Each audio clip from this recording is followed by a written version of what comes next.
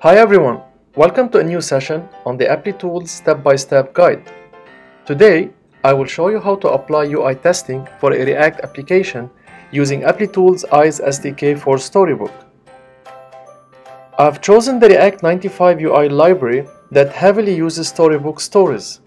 I will run the Applitools Eyes SDK, get our UI test runs generated, and then verify the results on the ApplyTools dashboard. Before we start our demo, let me show you how Applitools does UI testing for applications that are using Storybook. First of all, you start by writing the Storybook stories. Then, you install and run the Eyes SDK for Storybook. The SDK extracts the Storybook stories, uses Puppeteer to render the components. Then the client-side API of the Eyes SDK generates DOM snapshots for all the components and uploads them to the Applitools backend servers. There, the Applitools Visual Grid component kicks in and generates screenshots from the DOM snapshots. The snapshots are then compared to any baseline snapshots and the visual differences are reported on the Applitools dashboard. I will start by cloning the React 95 UI library repository locally on my machine. The project itself is hosted on GitHub.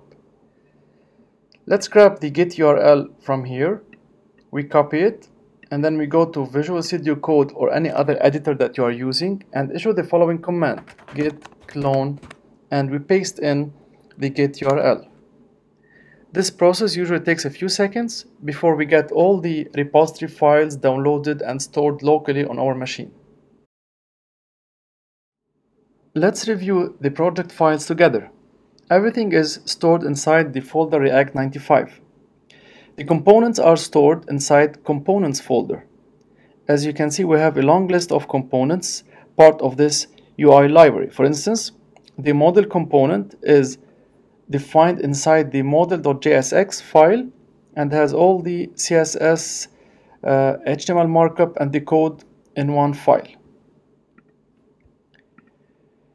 Also, as you can see, we have Storybook already configured for us inside the .storybook folder. And all the stories are stored here inside the stories folder.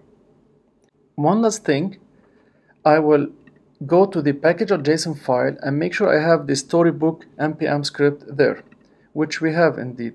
Great. Now let's move inside the folder that we have just created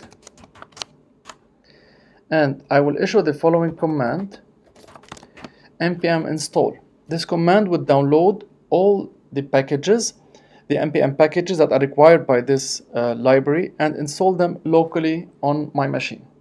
I will hit enter for the process to start. Okay, the process is done.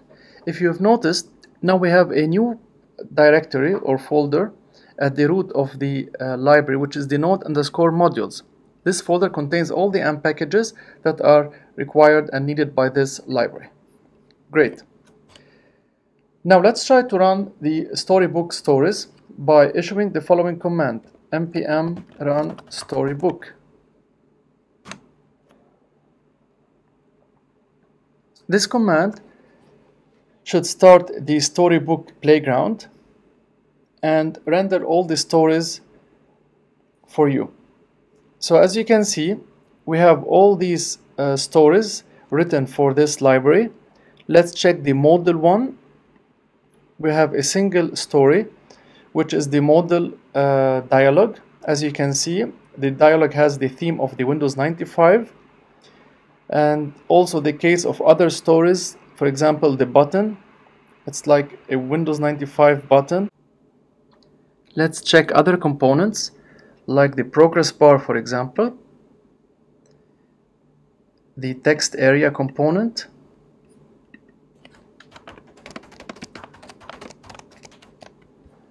and also the tree component. Now that the storybook is up and running, let's move on and install the Applitools Eyes SDK for Storybook and start adding some visual UI testing. You can visit the Applitools Eyes SDK for Storybook GitHub page there you can browse the source code of the SDK and also enjoy the amazing documentation that the team have provided there on their GitHub page. And to install the Eyes SDK for Storybook, you can go to this npm uh, page. You can grab this command from here and then go to your editor and paste the command.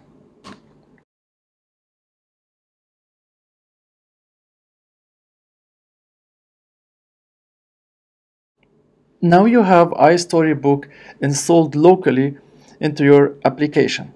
Before you can run Eyes Storybook, you need first of all to configure the Applitools API key environment variable, which is used by the Applitools engine while running your test to authenticate your requests.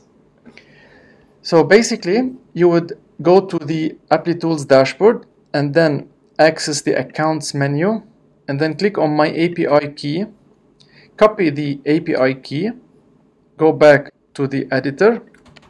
If you are on a MacBook machine, you would say export applitools underscore API underscore key equals and then you paste in your API key. And if you are on a Windows machine you would write the following set applitools API key equals the API key you have copied from the website. So this is a very important step before you can run the eyes uh, SDK for Storybook. Now let's try to run the eyes Storybook by issuing the following command npx eyes-storybook and hit enter. What happens now is that Applitools would go grab all the stories we have in the solution. It will start running them, generate DOM snapshots out of each story, and then uploads all the DOM snapshots to the Applitools backend server. Uh, there we have the Applitools visual uh, grid component that will convert all the DOM snapshots into actual screenshots. And then after that, all the screenshots would be compared to baseline screenshots, if we have any on the server, and the uh, visual differences and changes would be reported on the Applitools uh, dashboard. So this is, uh, since this is our first run, we can see that no differences were found. And also we can see this URL here, which takes you directly to the uh, Applitools dashboard to check the results. Let's go to Applitools and uh, dashboard and hit refresh.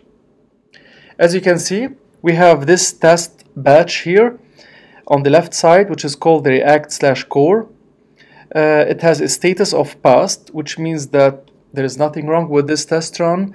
And since this is the first test run, we can expect this result. So if you click on this test uh, batch result, you can see the list of all test runs within this batch uh, test. Let's locate the uh, model uh, test and click it. Here we have a single snapshot that was generated by Applitools engine. Let's expand the snapshot to see it bigger. As you can see, it's a, just a copy of the uh, storybook story that we have uh, in our application. So let's go back to the uh, rest of the test runs and take another example like the tree component for instance. Let's click on it and we can see the three component uh, snapshot rendered for us. Now that our visual UI tests are successfully running, let's move on and talk about a unique feature that Applitools offers, which is the visual regression testing.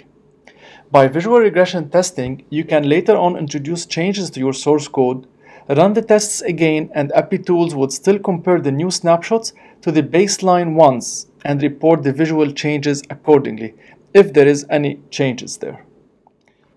This way, if your code changes introduce any visual UI change in your application, Applitools would capture that for you.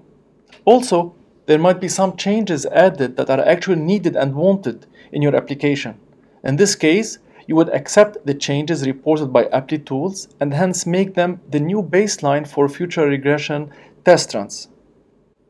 Let's switch back to our application and introduce a visual change in one of our components. For this I will go to the model component. I will locate the title bar uh, CSS styles and change the background color from this one to simply yellow. Let's save and then run our tests again. npx eyes storybook and hit enter.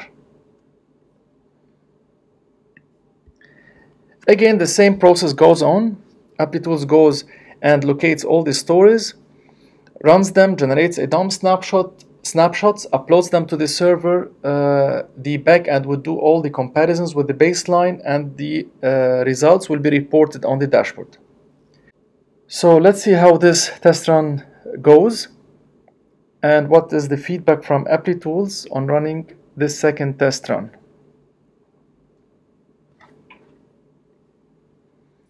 Okay, as you can see, we have a total of one difference was found, which means that one of the stories, which is the model, in fact, uh, failed, which means that there has been a change in the model component compared to the baseline one. Let's go back to uh, the Applitools dashboard